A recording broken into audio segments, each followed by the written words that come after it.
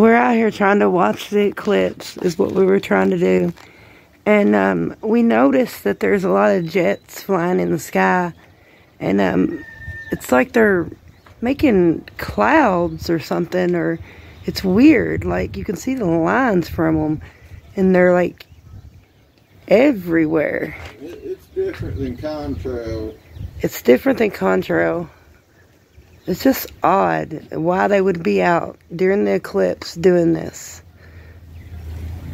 And I mean, you can tell where they've zigzagged our whole sky. Yeah, I mean, there's lines. These lines were really thin at first.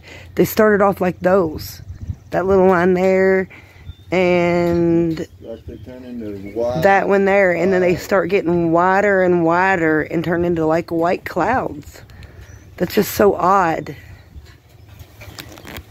If anybody knows what's going on, put it in the comments.